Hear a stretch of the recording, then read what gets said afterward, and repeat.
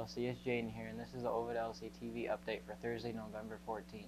Attention students, if you are planning on to play a winter sport, you need a signed physical on file. Get your form from the office and also pick up your gold card prior to first practice.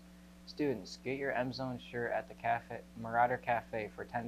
Remember, the winter sports season of basketball, wrestling, swimming, competitive cheer, and bowling are coming up and the shirt and the shirt works for all those home athletic events. Any senior who has earned a GPA of 3.5 or above and has earned at least one varsity letter is eligible for the MHSAA Scholar Athletic Award. 32 seniors across the state will earn a $1,000 scholarship.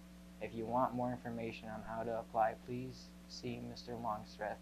The deadline for applications is December 6th.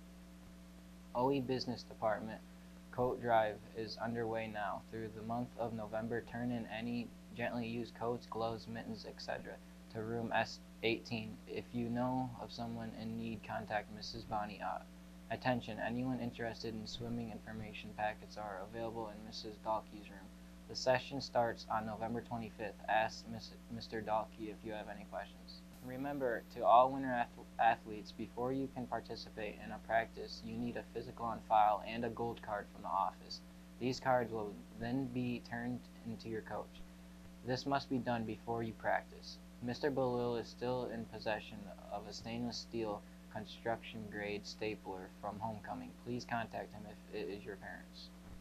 As snow days are upon us and you want to be the first to know, Remember that you can get all of our notifications and updates via the Ovid-Elsie app. You can quickly check events and lunch schedules there too. On November 21st, Students Challenge will resume meeting in the high school woodshop at 7 in the morning. Refreshments and encouragements will be provided. All students and staff are welcome to attend. Well, that's our show for today. Have a great day, OE.